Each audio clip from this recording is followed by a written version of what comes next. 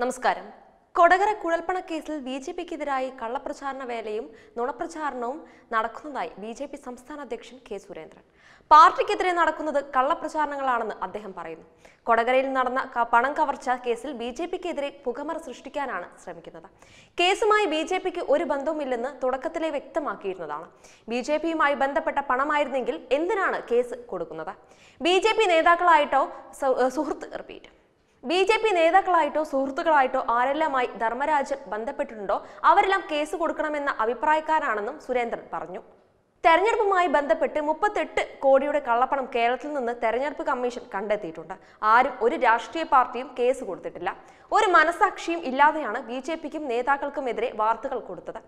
ഒരു തരത്തിലും ചോദ്യം ചെയ്യപ്പെടേണ്ടതില്ലാത്ത ആളുകളെയാണ് പോലീസ് ചോദ്യം ചെയ്യാൻ വിളിപ്പിച്ചു കൊണ്ടിരിക്കുന്നത്. കാണാതായ പണം കണ്ടെത്താൻ എന്തുകൊണ്ടാണ് പോലീസിന് കഴിയാത്തത്? ബി ജെ പി നേതാക്കളെ ചോദ്യം ചെയ്ത ശേഷം എന്ത് വിവരമാണ് പോലീസിന് കിട്ടിയതെന്നും കെ സുരേന്ദ്രൻ ചോദിക്കുന്നുണ്ട്. ആ ചോദ്യം സത്യമാണ്. ഡോളർ കടത്തും സ്വർണക്കടത്ത് കേസുകളിൽ നിന്നും ശ്രദ്ധ തിരിക്കാനാണ് ഇപ്പോൾ ആസൂത്രിത നീക്കം നടക്കുന്നതെന്നാണ് ഒരു സത്യം.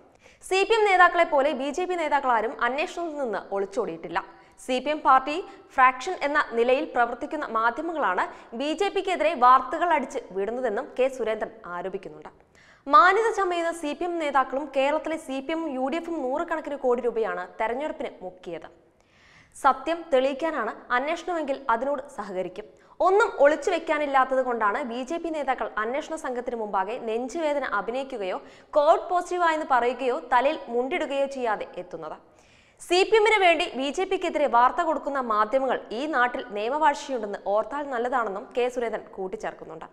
കഴിഞ്ഞ കുറച്ച് ദിവസങ്ങളായി ഭാരതീയ ജനതാ പാർട്ടിയെ സംബന്ധിച്ച് കള്ളപ്രചാരണങ്ങളാണ് ഒരു വിഭാഗം മാധ്യമങ്ങളും സി പി എമ്മും നടത്തിക്കൊണ്ടിരിക്കുന്നതെന്ന് അദ്ദേഹം ആരോപിച്ചു. കൊടക്കരയിൽ നടന്ന പണം കവർച്ച കേസുമായി ബന്ധപ്പെട്ടാണ് അർദ്ധസത്യങ്ങളും ആസൂത്രിതമായ കള്ളപ്രചാരണങ്ങളും നടക്കുന്നത്. ബി ജെ പിക്ക് ഒന്നും മറച്ചു വെക്കാനില്ല. കവർച്ച കേസിൽ ബി ജെ പിയുമായി ബന്ധിപ്പിക്കാൻ തെളിവ് എവിടെയെന്നും അദ്ദേഹം ചോദിക്കുന്നുണ്ട്. എ വിജയരാഘവൻ ഹരിശ്ചന്ദ്രൻ ചമയുകയാണ്. തെരഞ്ഞെടുപ്പിൽ എൽ ഡി എഫും യു ഡി എഫും വൻതുക ചെലവിട്ടിട്ടുമുണ്ട് സി പി എം മാത്രം ആയിരം കോടിയാണ് ചെലവിട്ടത്. പി ആർ വർക്കിന് ഇരുന്നൂറ് കോടി സി പി എം ചെലവാക്കിയെന്നും അദ്ദേഹം ആരോപിക്കുന്നുണ്ട്. ചില മാധ്യമങ്ങൾ നുണക്കഥകൾ പടച്ചുവിടുകയാണ്.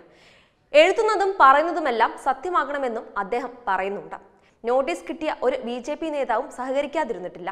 അന്വേഷണത്തോട് ബി ജെ പിക്ക് നിസ്സഹരണവുമില്ല Congress C P M Muslim League ഉൾപ്പെടെയുള്ള പാർട്ടികളുടെ കള്ളപ്പണം കേരളത്തിൽ നിന്ന് പിടിച്ചെടുത്തിട്ടുണ്ട്.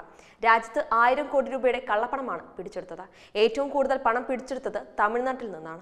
ഡി എം കെ ഇരുപത്തഞ്ച് കോടി രൂപയാണ് സി പി എമ്മിന് നൽകിയത്. അത് കള്ളപ്പണമാണോ വെള്ളപ്പണമാണോ എന്ന് പിണറായി വ്യക്തമാക്കണമെന്നും സുരേന്ദ്രൻ ആവശ്യപ്പെട്ടിട്ടുണ്ട്.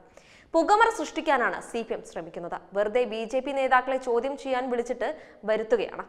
നുണക്കഥകളാണ് സംസ്ഥാനത്ത് പ്രചരിക്കുന്നതെന്നും അദ്ദേഹം ചൂണ്ടിക്കാട്ടുന്നുണ്ട്. പുറത്തു വരുന്ന വാർത്തകൾ ഒരംശം പോലും സത്യവുമില്ല. ശൂന്യത്തിൽ നിന്ന് കഥയുണ്ടാക്കി നിയമവിരുദ്ധമായ കാര്യങ്ങൾ ചെയ്തുകൊണ്ടിരിക്കുകയാണ് ഇവർ. ഏത് അന്വേഷണത്തെയും ബി ജെ പി സ്വാഗതം ചെയ്യുന്നുവെന്നും കേസിലെ ബാക്കി തുക കണ്ടെത്താൻ പോലീസിന് സാധിക്കാത്തത് എന്താണെന്നും സുരേന്ദ്രൻ ചോദിക്കുന്നുണ്ട്. Web desk Tatwamayi news.